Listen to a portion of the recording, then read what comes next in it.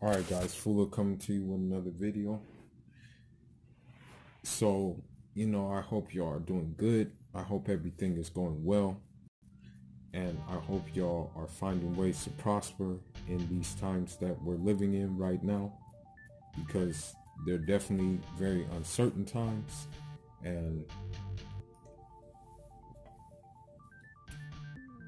basically you never know what's next. I mean, you hear about the whispers that Trump is going to cancel TikTok. In fact, he's given China an ultimatum that they must sell TikTok within 30 days or he's going to cancel them. And that's all bad, you know, but let's let's get into some boxing. So I was looking at uh, the PBC card and it looks like Showtime and PBC got some pretty competitive fights coming along. Uh, it's pretty good to see that, you know, I, am pretty sure that these fights though will be in empty stadiums. I don't think that there is enough confidence to put these fights in, you know, or have an audience in these fights. And the reason being for the simple fact that that I mean this COVID thing is still very much a um, thing that's really going on still, you know, unfortunately. And the whole fact of the matter is, is that, I mean, you have to just understand that you, I mean, if you have a group of people, and not only do you have a group of people but you have a group of people in a, you know, a crowded, dense place, you know, we already know what the chances are of that, of what is to happen.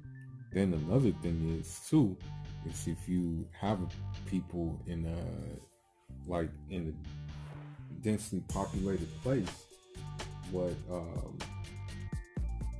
may happen is that, you know, it's going to be hard to breathe too.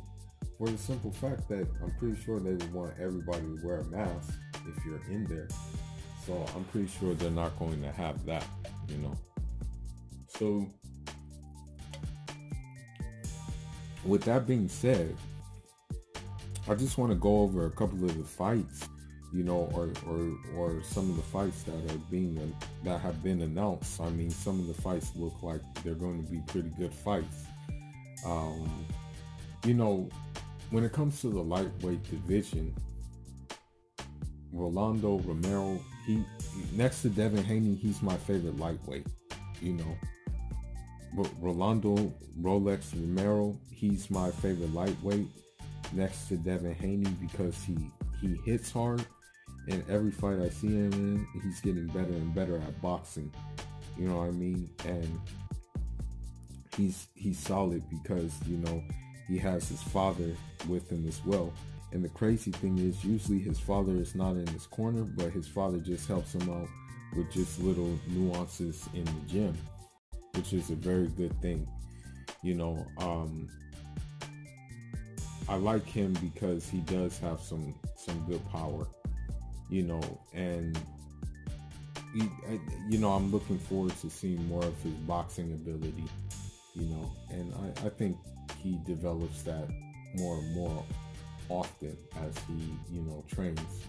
I think he's fighting for some kind of interim interim title. I think he's fighting for, you know, it should. It, I think the fight is going to happen pretty soon.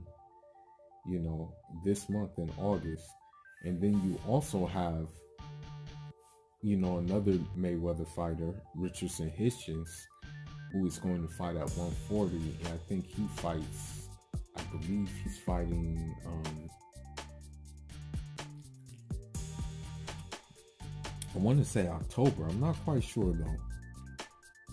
But I know he's fighting as well. And then you have, of course, Gervonta Tank Davis fighting Leo Santa Cruz. And, you know, I'm, I'm just going to say this about Gervonta Tank Davis. I mean, I like him. I like his boxing ability and things like that. But I just, for him, I, I just don't know about the discipline. you know, with him. And I just don't understand that, you know, you, you have such an upside, but you keep on doing things outside of the ring, which will, you know, hinder you from reaching that complete upside. So, you know, why I do like him, why I do like his um, his power and whatnot, it's just I don't know, man. He's still a question mark to me. And it's got I don't know, man. I don't know if he can make 130, but I mean let's see if he can. You know. So another another couple of fights that I wanted to talk about. I mean, because obviously there's some of my favorite fighters in these fights. Is a couple of, I mean, even one boxing outlet called it a fake WBA title fight, and that is with Yordenis Ugas versus uh, Abel Ramos. And so they they said it's a fake title fight, and I guess it is for another WBA Alphabet soup belt. I mean, there's so many of these Alphabet soup belts, you almost lose count of which one is which. You know, so I guess this WBA belt, I don't know what is, um, you know, I don't know if it's a regular title. I don't know if it's an interim title. I have no idea what it is. Um, but it looks like Yordenis Ugas will be fighting for it. And I guess what this means is that it will put him uh, higher in the rankings. And then by him being higher in the rankings, he can be able to maybe challenge for like a mandatory position in, you know, fighting one of the welterweight belt holders who will be willing to fight him like um, a Manny Pacquiao or something like that, or you know, even Terrence Crawford. That could definitely be a possibility as well. You know, now I don't think it would count for unification due to the simple fact that it is like one of the I want to say it's a um, you know one of these alphabet soup belts, you know, more or less so. And then we have definitely one of my favorite fighters. The thing is about my style of boxing and the style of boxing I like is the style of boxing I like and that you know I take from a lot is a very technical cerebral style. And of course this is called boring by most of the people. I mean that's why you say that's why people say, oh Demetrius Andrade is boring. That's why people say Guillermo Rigondeaux is boring that's why people say that um, the the guy I like, Erislandy, the American Dream Lara, is born. But he, I think what he's doing right now in this fight against Greg Vendetti is he's just get he's he's just trying to stay fresh, you know. But I think like still with Erislandy Lara. Now, granted, the Jarrett Hurd fight, I said it. I've said it I, I've said it before, and I'll say it again. The Jarrett Hurd fight was a war. You know, it it definitely possibly made Erislandy Lara lose a step. You know, there's a high possibility that happened. You know, against Brian Castano, he looked. It, it was a draw. I can see why they gave it a draw. I definitely see the draw in that fight. And we when we look at the I think he fought um what's his name? Uh, Ramon Alvarez or something like that. I don't know. Some but it was Canelo's brother, basically. It was Canelo's brother. And you know this that that was just pretty much sparring. I mean, dude came in overweight.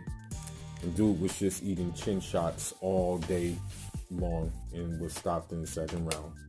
If, in case you don't remember that fight. But this Greg, um, this Greg um, Vendetti, I think what he's gonna do is he's just gonna get some rounds in and he's just going to like just shake off the ring rust and just I, I guarantee you what Erislandy Lara will do in this fight is he won't push the action. He'll just simply be countering him all night and just flickering his jab and things like that because of the simple fact that he wants um he wants rounds in. You know, he doesn't want to become too stagnant because of this um whole pandemic we're in. So now, you know, Showtime Shawn Porter is coming back into the fray as well. And he's fighting a guy named Sebastian Formola. Formella, I think. And I, I don't know. I think he's an undefeated person. He's coming from Germany. I don't know. You know, I don't know how these people somehow find their way in the rankings. I really don't get it. Like, I really wonder sometimes, like, hey, how did this person get into the rankings? You know, like, what is this person doing here? How come we have never heard of this person? You know, and that usually happens a lot of the time. However, you know, it's boxing, so we deal with it. So he will be back in action, and I think with Shawn Porter, he's he's just looking to get back in contention with the, the big people of the welterweight division. And I think what may happen is, you know, perhaps because I I bet I guarantee you I think he's game for it. Um, Errol Spence will accept him getting a rematch. You know, he'll he'll run it back. He'll want to run it back. I think Errol Spence is cut from that cloth that he'll run it back, you know, with Shawn Porter. So that's something that to be looked out for, you know, and something I can't wait for. If it does happen, another, if a second fight happens, because the first fight was a dog fight. The first fight was very aggressive. You know, it was a good fight.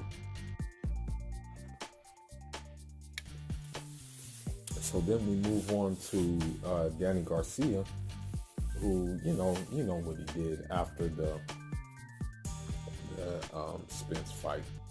You know, um, he went in the ring pretty much was looking to get his pay per view check, and now he's getting his pay per view check, and that's gonna happen in November. I think it's gonna happen in LA but I don't know. I don't know if like media is gonna be welcome to the to to the to the like events for the simple fact that like shit is still not really the same. Um, perhaps eh, you know in that period later down that period is going to be um, things are going to be changed you know but um, for now, it's just like, you know, ain't nothing really going on, you know. As a matter of fact, people do interviews with, you know, people do interviews with uh, just pretty much using Zoom or Skype or something like that when they're talking to these fighters. But anyhow, um, some good fights coming up by the PBC. Uh, I think what was happening with Top Rank is they were kind of banking off that Lomachenko Teofimo fight, which as of right now, we don't know what's going on with it. We don't know if it's still going to happen. And it remains to be seen, you know, what's going to happen in that regard, you know. Uh, it's a fight that the boxing world definitely wants to see. And, you know, Jorge Linares has, you know, tested positive for COVID 19, but he gave his two cents and he said Teofimo is not, doesn't have enough ring IQ for Lomachenko, you know. I don't know how true that is, but he definitely got the power to neutralize him and to hurt him you know, slow him down, especially if he digs at the body because Lomachenko don't like it at the body. but these are some good fights. Um, I definitely look forward to seeing Ugas again. And I definitely look forward to seeing Erislandy Lara again. You know, I'm, I'm going to say something. I, I, I want to say something about this whole thing. If, let's say, if like a different nationality had technical, like they were technicians, then I would like gravitate towards them as well you know? So i mean that's just the thing about the cubans is that you know they're technicians you know what i mean? Um and so I like those type of fighters. You know, I'm not into fighters who just have one dimension. I like fighters who can do multiple things. You know what I mean? Who are very versatile, who can give you different looks, different different styles. Like, but and it's a reminder to yourself, like if you're in the fight game or if you're a up and coming guy, it's just like you have to kind of be a like we have a we have a dish called um mankara and mankara it, it basically has just different meats different vegetables inside of it you know it's a mixture of everything and so and we have another dish called cheb, and cheb is the same way. You know, you got lamb, you got cassava, you got carrots, you got cabbage, you got all types of mixtures. And so that's how I equate to like the boxers. I like I like boxers who have that, you know, who can who can bang, who can brawl, who can box, have good defense, good footwork, you know what I mean?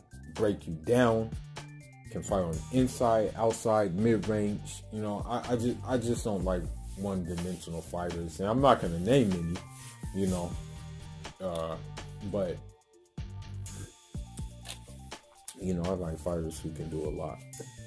But anyhow, man, let me know what you think about this fight card. Let me know if you're gonna tune into these fight cards.